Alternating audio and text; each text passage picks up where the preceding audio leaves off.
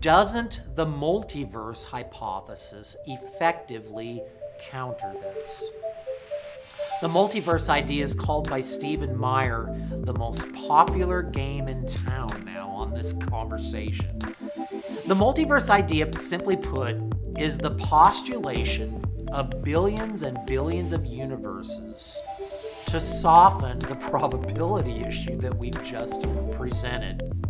Now, if you really think about it and take a look at this, this is right off kind of a backhanded compliment because this is actually reactionary to the fine tuning dilemma.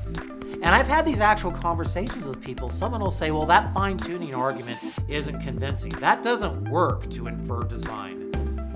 Oh, well, really? Well, yeah, and by the way, we're postulating billions and billions of universe to soften the probability factor.